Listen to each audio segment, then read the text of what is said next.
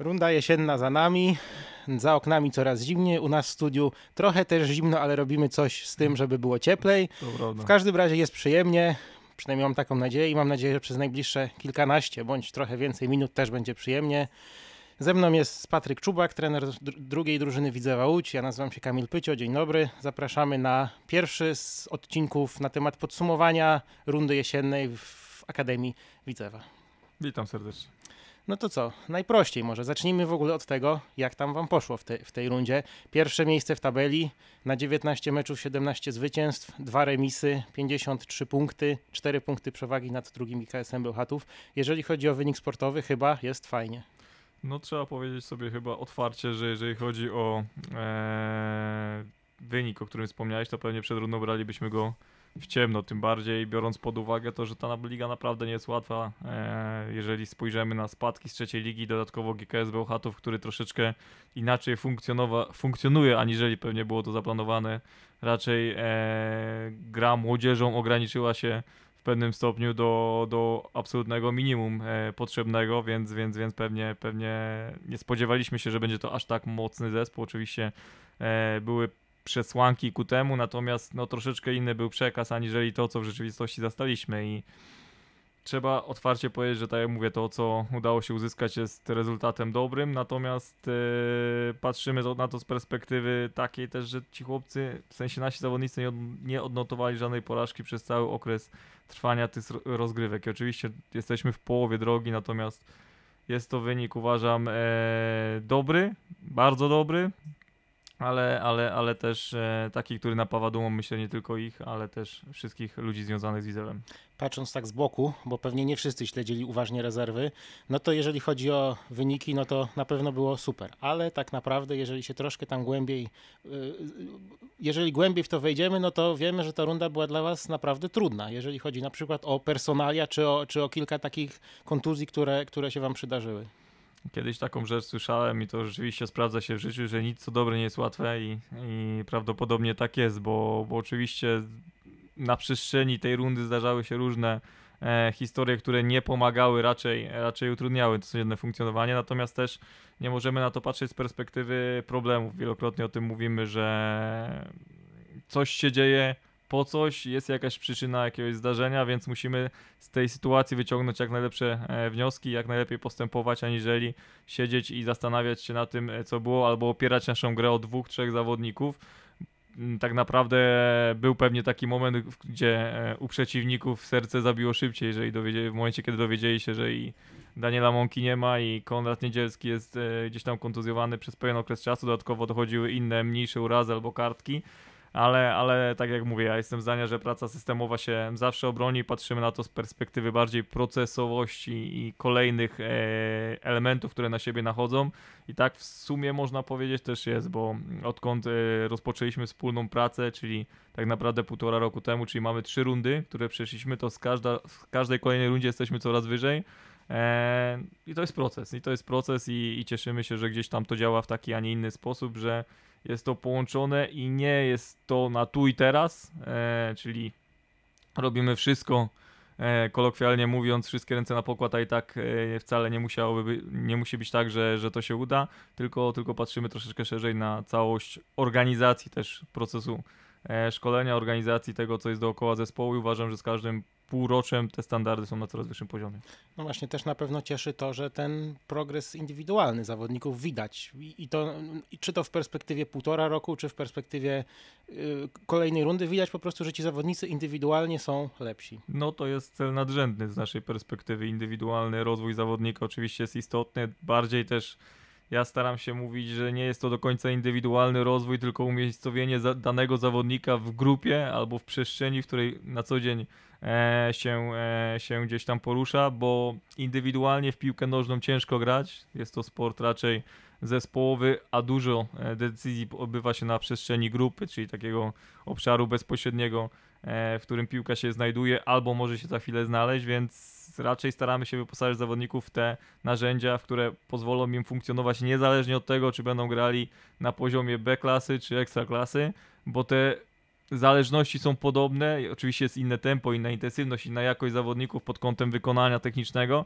natomiast my też spotykamy się już z zawodnikami, którzy jakiś e, poziom wykonania e, posiadają i pracujemy tak naprawdę nad tym, aby to wykonanie zdynamizować, czyli jeżeli posiadają jakiś poziom, załóżmy, wykonania technicznego w postaci podania piłki po ziemi, no to staramy się to zdynamizować, bo wiemy, że za dużo już tego nie podniesiemy z samej jakości ułożenia stopy i tak dalej, i tak dalej. Oczywiście pewne detale możemy wznieść na wyższy poziom, ale staramy się, żeby robili to jak największym e, deficycie czasu, na jak największej jakości i jak największej dynamice, bo to pozwala nam na to, że rzeczywiście ci chłopcy e, robią postęp i tak jak wspomniałeś, no na pewno na przestrzeni rundy, czy na przestrzeni tego okresu czasu to widać, bo też e, powiem szczerze, na pierwszym treningu też chyba byłeś, jak dobrze pamiętam, gdzie spotkaliśmy się w 14 osób, no to ta mm, dysproporcja jest ogromna, no to są zupełnie inni, zupełnie inni ludzie, e, zawodnicy, którzy również do nas dołączyli, e, zapewnili nam odpowiednią jakość i jedni odeszli, inni przyszli, to jest,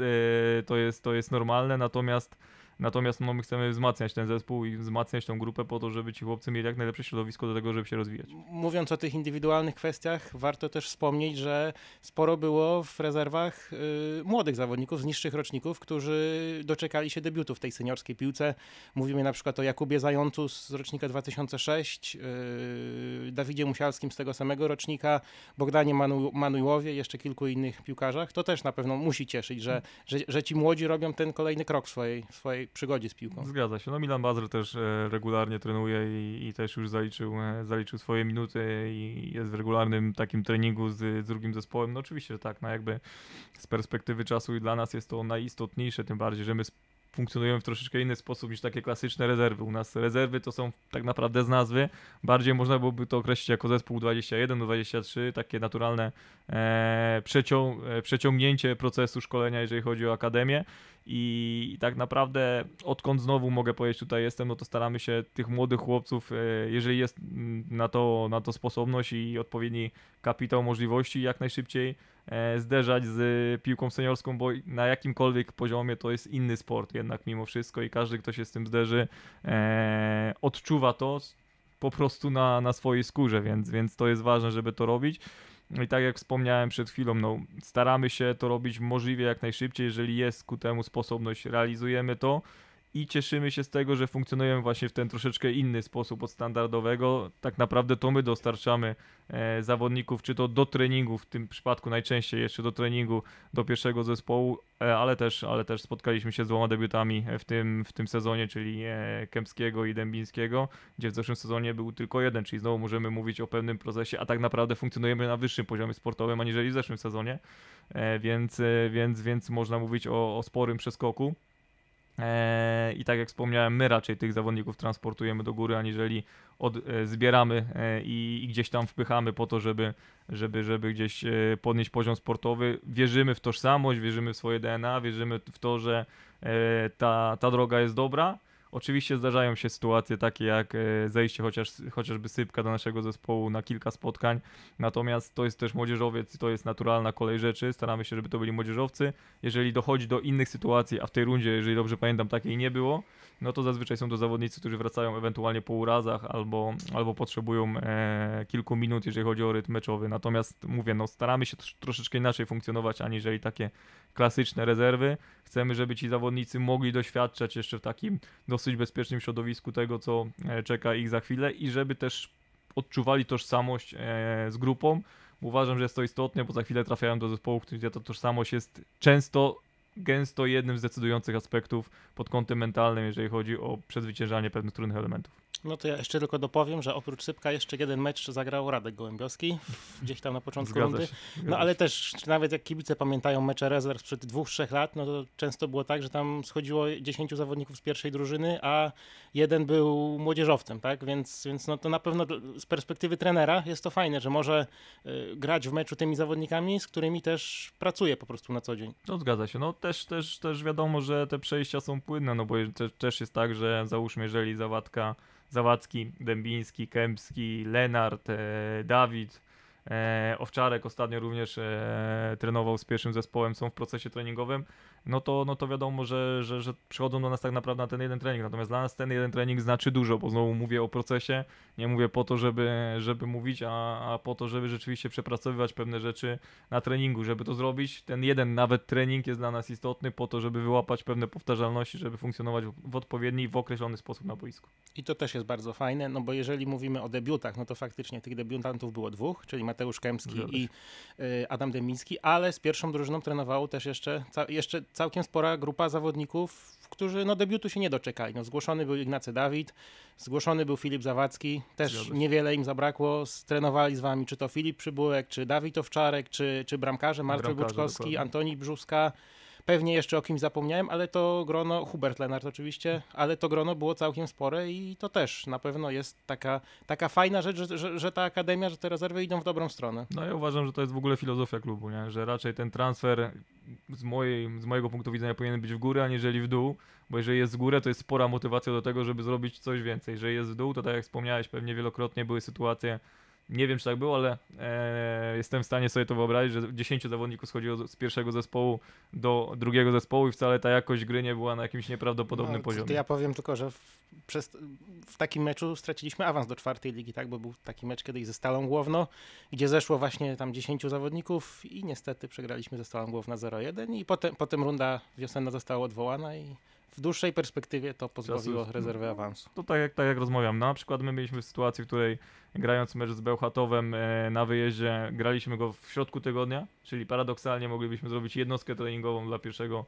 dla pierwszego zespołu. Zresztą sam Bełchatów gdzieś tam w rozmowach praktycznie się tego spodziewał, bo to jest standardowe zachowanie, natomiast my pojechaliśmy swoim zespołem, dodatkowo tak naprawdę właśnie bez Igiego, e, Dawida i bez Adasia Dębińskiego, ponieważ byli potrzebni w procesie treningowym pierwszego zespołu. Nie, nie mieliśmy z tym żadnego problemu. No, jest, pracujemy z tymi ludźmi, chcemy z nimi doświadczać, chcemy, żeby oni doświadczali też spotkań właśnie takich jak to, bo tak naprawdę to był jedny, pierwszy, jeden z pierwszych meczów dla tych chłopców, w których oni doświadczyli nieprzyjaznych trybun, ludzi, którzy niekoniecznie są nastawieni pozytywnie do Widzewa, E, więc to też jest jakieś zdarze, zderzenie mentalne i przygotowanie ich do tego, co może ich spotkać za chwilę. No chyba Dawid Owczarek najbardziej, najbardziej mu się to podobało, bo tam kilka razy tak trochę prowokował kibiców. Zadowolony z tego, tak. za, za, zapisał się w protokole asystą, więc trzeba się z tego cieszyć.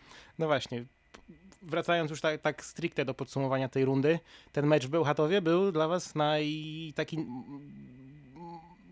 takim najlepszym wspomnieniem tej rundy, czy, czy może jakieś inne spotkanie? Znaczy, może wspomnieniem był bardzo miłym z racji właśnie tego, jak ten e, zespół, mówię o przeciwniku, funkcjonuje, tak? Czyli można powiedzieć, że jest pełni profesjonalnym zespołem na poziomie czwartej ligi o optymalnym budżecie, nie na czwartą ligę.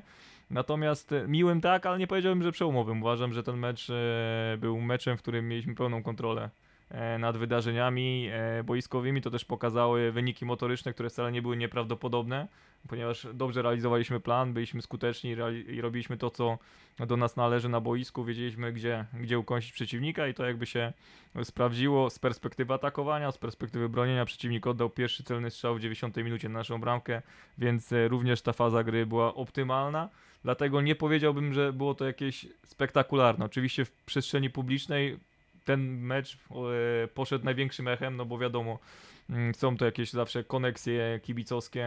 To jest klub, który teraz można powiedzieć e, powstaje z kolan e, po, po, pewnych tam sytuacjach, które, które doprowadziły do tego, że znaleźli się w tym miejscu, w którym są.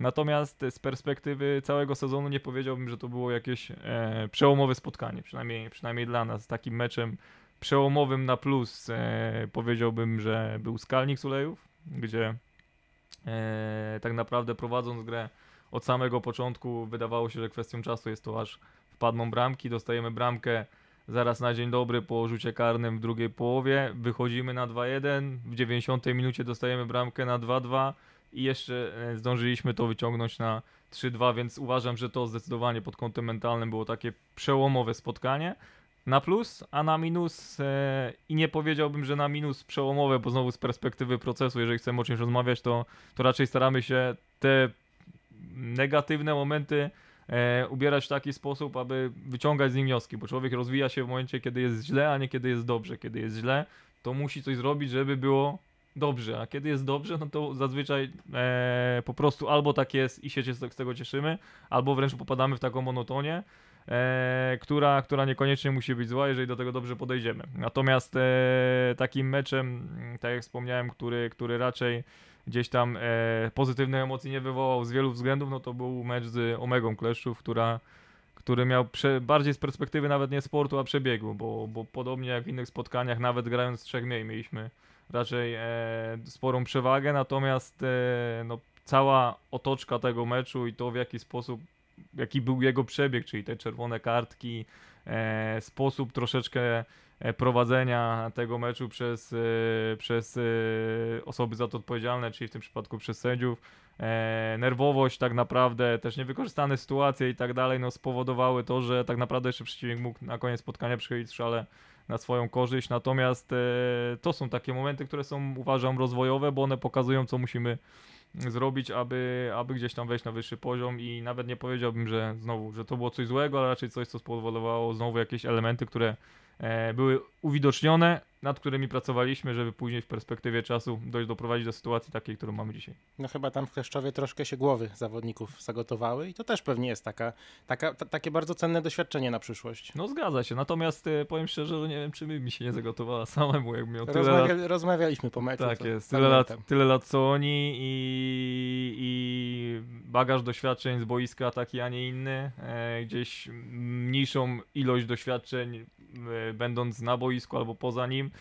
I powiem szczerze, że to nie jest łatwy moment, kiedy tak naprawdę za mm, każdą e, sytuację, która jest, dzieje się na boisku, jesteśmy obwiniani bezpośrednio my, ani że, a, nie, a nie to ta sytuacja racjonalnie oceniana, więc było jak było, trzeba było sobie z tym poradzić. Uważam, że chłopcy paradoksalnie, hmm, chłopcy i mężczyźni, bo już czasami zapominam, że mamy podział, e, jeżeli chodzi o naszych zawodników doświadczonych i, i tych, tych młodych, dlatego utarło się chłopcy i jakoś przy tym zostajemy. E, musieli sobie z tym poradzić, musieli się z tym zderzyć, poradzili sobie, uważam, e, optymalnie, natomiast to są mecze, które później decydują o takim kształcie mentalnym zespołu i mam wrażenie, że bardzo dużo wtedy zależy od samych zawodników i od sztabu szkoleniowego, jeśli chodzi o ukierunkowanie tych emocji i myślę, że zrobiliśmy to w dobrym, w dobrym kierunku i w dobrym momencie. No właśnie, też tak bardzo fajnie zareagowali, zareagowaliście na tę porażkę, bo potem przyszedł mecz z Kutnem, bardzo, mhm. bardzo mocną drużyną, mimo słabszego początku. Wygrany 2-1 Y, też w dobrym stylu. Pierwsza połowa, zwłaszcza jak, jak oglądałem powtórkę tego spotkania, no to tam była dominacja wasza. Mhm. No i też dostaliście taką małą nagrodę, bo chyba, jeżeli dobrze pamiętam, to trzy dni, trzy, dwa dni później Bełchatów zremisował za KS-em i, i znowu, mimo że straciliście tę pozycję lidera, to, to w zasadzie za chwilę ją odzyskaliście. No zgadza się. Ja, ja też z zawodnikami, e, my jako sztab z zawodnikami rozmawiając, nie staramy się nie mówić im, że patrzyli w tabelę, tak, żeby jakoś tam to strasznie oceniali, przeżywali. To jest naturalne. Jeżeli ja powiem e, moim zawodnikom, żeby nie oglądali meczu e, Bełchatowa z Radomskiem, to i tak to obejrzą, więc nie ma, nie ma sensu, żeby to robić i to jest naturalna e, kolej rzeczy, emocjonalność i, i pewne podejście do tego, że po prostu zależy mi na czymś.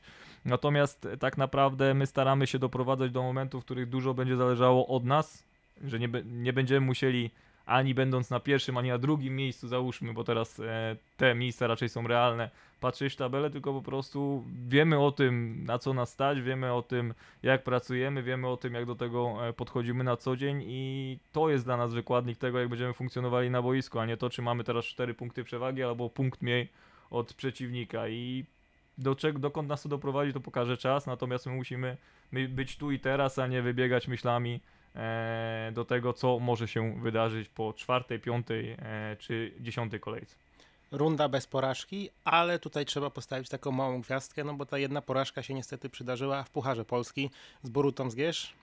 Szkoda chyba, że, że nie uda się powtórzyć tego sukcesu sprzed, no może nie sukcesu, ale, ale samego dojścia do finału Wojewódzkiego Pucharu Polski i meczu na stadionie, co na pewno dla tych wszystkich zawodników było mega przeżyciem, które zapamiętają bardzo długo. No zgadza się, no ja nie boję się użyć słowa sukcesu, więc uważam, że to był sukces, biorąc też pod uwagę to, że tak naprawdę odbyło się to w pierwszym w pierwszym sezonie naszej, e, naszej, naszej pracy i uważam też w dobrym stylu do tego doprowadziliśmy. Sam finał też mm, myślę, że wieloma momentami e, był widowiskiem całkiem, całkiem fajnym i takim poukładanym.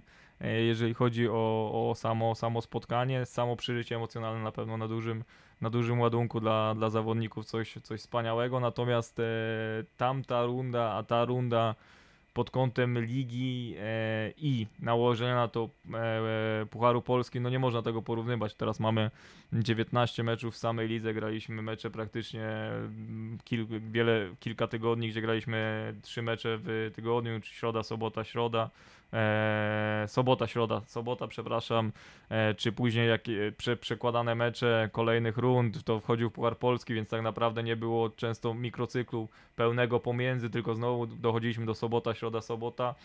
Mm, i doświadczaliśmy tego na własnej skórze i ten mecz mm, e, nie wiem, czy nie lepiej się złożyło, że, że odbył się w Pucharze Polski, aniżeli w lidze, bo rzeczywiście to pod kątem też takim motorycznym był dołek i, i, i trzeba było to zbierać z tego, co mieliśmy, a tak naprawdę i tak mm, można powiedzieć, że no jakbyśmy racjonalnie chcieli ocenić to spotkanie pod kątem tworzonych szans i zapobiegania tworzenia szans przeciwnika, no to to wynik e, w tym spotkaniu był e, mniej więcej na poziomie Japonii z Niemcami, więc e, zwycięstwo oczywiście po stronie Boruty, trzeba im pogratulować, trzeba to przyjąć, natomiast z perspektywy spotkania na pewno zasłużyliśmy na to, żeby na pewno tego meczu nie przegrać, na pewno, żeby strzelić bramkę, bo rzadko nam się zdarza, żebyśmy bramki nie strzeli, no ale tak się, tak się zdarzyło, no trzeba to przyjąć i znowu albo możemy usiąść w kącie i płakać, albo coś z tym zrobić jeżeli jeszcze podsumowujemy całą tę rundę, no to na pewno bardzo fajnie wygląda statystyka y, czystych, może nie tyle czystych kąt, co w ogóle straconych bramek, tak? No bo to jest 9 straconych bramek w lidze, plus do tego 12 czystych kąt, to na, naprawdę jest rzecz imponująca. No jeżeli do czegoś się pewnie można przyczepić, to statystyka tych bramek zdobytych, no bo okazji było mnóstwo, a nie zawsze ta piłka wpadała, co czasem skutkowało taką dość sporą nerwówką w końcówkach. No zgadza się, no pewnie procent stworzonych szans do procenta wykorzystanych szans jest niewspółmierny i nie powinno to gdzieś w tych wartościach oscylować, natomiast no i tak strzeliśmy praktycznie trzy bramki na mecz, tak szybko licząc, więc, więc e, średnio trzy bramki na mecz, więc, więc jest to wynik uważam e, niezły, aczkolwiek mamy świadomość tego, że powinien być zdecydowanie wyższy. Słuchałem ostatnio, kilka dni temu, takiego bardzo ciekawego podcastu yy, w asystencie trenera bodajże, czy w, w ekstra trenerze, przepraszam. Ekstra trener, w ekstra tak, trenerze. Tak, tak, no i tam sporo było takich zagwostek taktycznych. No i wiemy, że cała akademia przynajmniej te najwyższe roczniki grają 4-3-3. Zgadza się, w defensywie. Tak, tak. Dlaczego taka taktyka? I co z tym 5-3-2, które też było parę razy wprowadzane w tej rundzie? Jeżeli chodzi o 4-3-3, to będąc jakby pełną steszolem metodologa e, no, klubu, no to też akademii, to też jakby wiąże się z pewną analizą e, do, dotyczącą działań bieżących i pewnymi korektami, które mogą nam pozwolić lepiej funkcjonować. E, zauważyliśmy, że zbyt dużo mamy rozbieżność, jeżeli chodzi o pomysł na fazę bronienia, która w naszym odczuciu musi być powtarzalna, jest zupełnie inna od atakowania. Jeżeli chodzi o atakowanie, chcemy, żeby zawodnicy podejmowali bardzo dużo decyzji związanych z ich procesem tak naprawdę e, decyzyjnym i, i tym, co się dzieje na boisku w obszarze piłki i poza obszarem piłki, oczywiście realizując zachowania, ale zachowania mają to do siebie, że są otwarte. Natomiast e, w, w bronieniu jest dużo momentów, w których musimy być bardzo powtarzalni żeby być skuteczni, musimy powtarzalnie pewne rzeczy e, realizować i żeby zawodnicy również nie mieli problemu przechodząc ze zespołu do zespołu, no jest to częste, nie mieli problemu takiego, w którym się muszą bardzo długo adaptować do tego, że nie wiem, w jednym zespole gramy tak, w drugim gramy tak, wcześniej gramy tak. Powstał dokument e, i tak naprawdę pół roku pracy, które, w którym wdrażaliśmy właśnie e, sposób bronienia w 4-3-3 w taki sposób, w taki konkretnym, e, konkretnej dawce, która jakby wydaje nam się mocno opisuje każdy moment gry i każdą fazę, e, która może nas spotkać, jeżeli chodzi o spotkanie, e, o, spo, o mecz piłkarski. E, mówimy tu o sposobie naszego bronienia nakładanym też na sposób atakowania przeciwnika, tak? Czyli że przeciwnik buduje na trzech z tyłu z jednym środkowym pomocnikiem, czyli taka struktura 3 plus 1, my ustawiamy się inaczej. Jeżeli 3 plus 2, my ustawiamy się inaczej, 4 plus 2 inaczej, 4 plus 1 inaczej, a tak naprawdę cały czas jest 4 3 3. Więc, więc to są e, małe elementy, które później właśnie powodują sporą różnicę, jeżeli chodzi o, o takie wydarzenia boiskowe, których tak naprawdę do końca nie widać. Więc to był taki główny przyczynek, dlaczego, dlaczego 4-3-3 akurat zdecydowaliśmy się na tą formację. Uważam, że ona jest mega trudna, czyli znowu poddajemy zawodnikom, e, zawodników pod e, taki spory proces myślowy, czy to jest dobry moment na to, żeby na przykład stresować, czy powinienem zamknąć przestrzeń, czyli decyzja przestrzeń zawodnik, ale jednocześnie przy dobrej realizacji jest bardzo skuteczna, bo możemy w każdym piętrze, czyli w każdej formacji, czy w pierwszej linii, w drugiej linii, czy, czy w linii obrony, wywierać presję na przeciwnika, zapewnia nam to liczebność linii grając na przykład 4-1-4-1, czyli często, o, często mówi się, że gra się 4-3-3, a tak naprawdę przeradza się to w 4-1-4-1, gdzie widać jednego napastnika, czwórkę, jednego defensywnego pomocnika i czwórkę w linii obrony. My podchodzimy do tego takiego klasycznego 4-3-3, czyli płaskiego,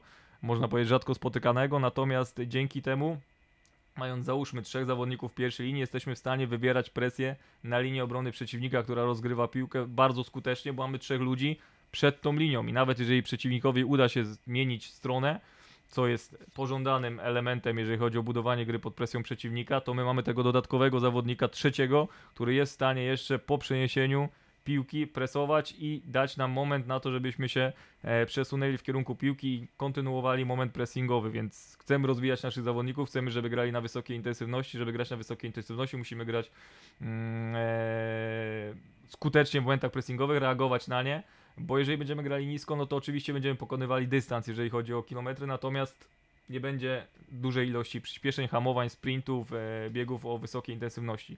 Jeżeli chcemy zawodników rozwijać, uważam, że piłka zmierza w tym e, kierunku, aby te, zresztą to Mistrzostwa Świata pokazują bardzo dobrze, aby te biegi wysokiej intensywności były jak najczęstsze i jak najbardziej ponawiane. Stąd e, też decyzja właśnie, właśnie jeżeli chodzi o sposób bronienia w, w 4-3-3 aby funkcjonować, zarówno w obronie też uważam, to jest warto odnotowania, niskie jak i wysokie, tak? Czyli zarówno na połowie przeciwnika, jak i na swojej połowie.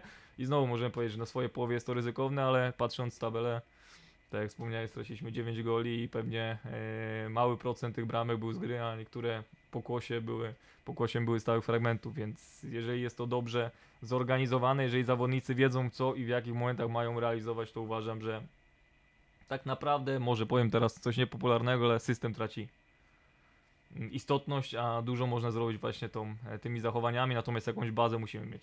No i to jest bardzo, bardzo właśnie fajne, fajne podsumowanie, że system traci istotność. Dlaczego?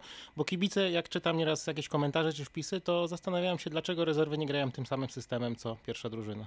No zgadza się, no jakbyśmy nałożyli, yy, ja jestem w stanie pewnie jakiś mecz za chwilę włączyć, yy, włączymy po mecz pierwszej drużyny, zrobimy dwie stop klatki będzie pokazane, że gramy w tym samym systemie bo taki był moment, w którym zawodnicy akurat przyjęli takie ustawienie ze względu na to, co się dzieje na boisku. Najważniejsza na boisku jest przestrzeń, przeciwnik i umiejscowienie piłki. I w zależności od tego, czy my ją mamy, czy nie, przyjmując fazę bronienia. Najprawdopodobniej jej nie mamy, natomiast dążymy do tego, żeby uzyskać i pewnie sporo stop klatek zrobilibyśmy na przykład 4-3-3, gdzie jest moment takim, że przychodzi to w 3-4-3, tak jak w momencie pressingowym, jeżeli chodzi o pierwszy zespół i powiedzielibyśmy, że gramy tak samo, więc e, no systemy tracą swoją istotność, musi być jakaś baza wyjściowa, natomiast baza wyjściowa bardzo często jest dobierana pod profil zawodników, jakich, jakich posiadamy lub jakich z naszej perspektywy akademii chcemy chcemy mieć i tyle. Natomiast później e, wchodzą w to zachowania, czyli właśnie, czy presuję, czy to jest moment pressingowy, czy nie, czy zamykam przestrzeń, czy wychodzę do presji. Czy jeżeli mój partner wyszedł do presji, to ja powinienem zamknąć przestrzeń, czy razem z nim podążać, żeby nie dopuścić dowolnego zawodnika. To już są zachowania, które są na boisku przepracowywane i to jest coś, co jest najpiękniejszego z naszej perspektywy. No dobrze, chyba, o, te, chyba temat rundy jesiennej wyczerpaliśmy. Przed nami zima, która na razie jeszcze dla Was się nie zaczyna, bo trenujecie do 16 grudnia. Potem krótka przerwa świąteczna i wznawiamy przygotowania na początku stycznia. No i na oficjalnej stronie już pojawił się, yy, pojawiła się rozpiska sparring partnerów i bardzo ciekawa zima się zapowiada, no bo Widzew będzie grał z rezerwami Legii, z rezerwami Rakowa, z rezerwami Wisły Płock, z kilkoma mocnymi drużynami z trzeciej ligi to też fajne, bo pokazuje chyba, że te drużyny po prostu chcą grać z Widzewem. No już zeszła, zeszła zima pokazała nam, że możemy rywalizować, możemy się zderzać z e, zespołami na wyższym poziomie, bo determinuje nas do tego nasza organizacja gry. Jeżeli mamy organizację gry na odpowiednim poziomie, to nawet jeżeli w danym momencie, jeżeli zbiór osób, e, przyjmijmy na to, mm, nie jest e, jeszcze na ten poziom, żeby powtarzalnie funkcjonować z trudniejszym rywalem, no to, to samą organizacją uważam, że jesteśmy w stanie dużo zrobić. A jestem przekonany, że z perspektywy poprzedniej rundy, e, poprzedniej zimy do tej zimy zrobiliśmy też postęp, jeżeli chodzi o, tak jak wspomniałeś, indywidualne kwestie, więc mam, myślę, że myślę, że będziemy mogli spokojnie rywalizować z zespołami, które, e, które wymieniłeś, powtarzalnie, realizując nasz sposób gry, pokazując nasze DNA i nie zmieniając nic, bo gramy z kimś na wyższym poziomie. Uważam, że to między innymi doprowadziło nas do momentu, w którym jesteśmy teraz, czyli oczywiście duży szacunek do przeciwnika, niezależnie od tego, czy gramy z zespołem na wyższym poziomie, czy na niższym poziomie, ale odnosimy się do tego wyższego poziomu. Duży szacunek, ale realizacja swoich zasad, swojego DNA, swojego pomysłu na grę, czy i paradoksalnie mogę powiedzieć właśnie na bazie chociażby meczu z Bełchatowem, że czasami jest łatwiej grać z przeciwnikiem o wyższym potencjale, mm, o, z przeciwnikiem, który jakieś również organizacyjne kwestie posiada, aniżeli z zespołem, gdzie czasami zastanawiamy się, co może się wydarzyć w każdej kolejnej sytuacji. I powiem szczerze, ja, ja wolę grać z zespołami, które są e, na równym lub wyższym e, poziomie, po prostu, bo to jest wtedy fajny mecz. No. A żeby regularnie grać z drużynami na wyższym lub równym poziomie, to trzeba co zrobić? E, trzeba zrobić wszystko, aby znaleźć się na, na wyższym poziomie I to, e, i, i to, jest, e, to jest naturalne, do tego dążymy. Chcemy to zrobić, tak jak powiedziałem, w sposób bardziej systemowy aniżeli mm, przypadkowy, żeby znajdując się tam znowu móc realizować e, swoją ideę gry.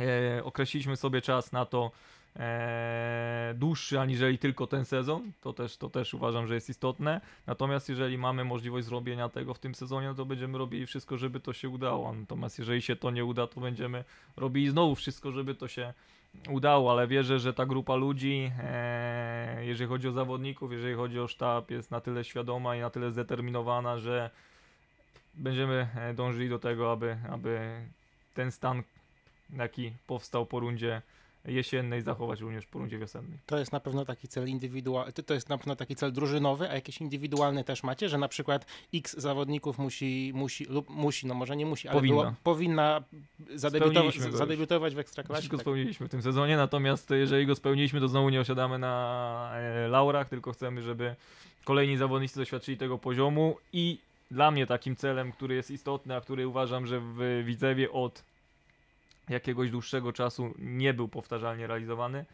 to to, żeby zawodnik nie tylko zadebiutował, ale regularnie pojawiał się na boisku. I, i, i co prawda nie jest to nigdzie określone, natomiast ja z mojej perspektywy mogę powiedzieć, że chcę, chcę doprowadzić do momentu, w którym zawodnik z Akademii będzie regularnie występował w pierwszym zespole Widzewa. No to może na koniec, bo z mojego prywatnego doświadczenia wiem, że Patryk Czubak jest mistrzem cytatów, więc A może, nic nie wiem o tym. może jakiś cytat taki na, na koniec, który, który, który można by powiązać na przykład z całą, z całą rundą jesienną, z, to, co, z tym, co udało wam się zrobić lub z tym, co chcielibyście zrobić wiosną. Znaczy mogę powiedzieć, nawiązać, teraz co mi na szybko do głowy przyszło, nawiązać do tego, co powiedziałem zawodnikom po e, poprzednim sezonie, na początku tego sezonu, po takim dużym podsumowaniu, zarówno sportowym, jak i e, mentalnym, e, statystycznym poprzedniego sezonu, po to, żeby jak najlepiej przygotować się do tego, e, do tego sezonu, w którym jesteśmy obecnie. Taką e, tezę przy, przyjęliśmy, która na razie się sprawdza i jakby towarzyszy nam od samego początku, to to, że najlepsze przed nami. I mam wrażenie, że odkąd się spotkaliśmy, to najlepsze przed nami i na razie udaje się to rzeczywiście powtarzalnie e, realizować. Każdy kolejny tydzień, każdy kolejny trening, każdy kolejny miesiąc, każda kolejna runda pokazuje, że najlepsze przed nami i tego się trzymajmy.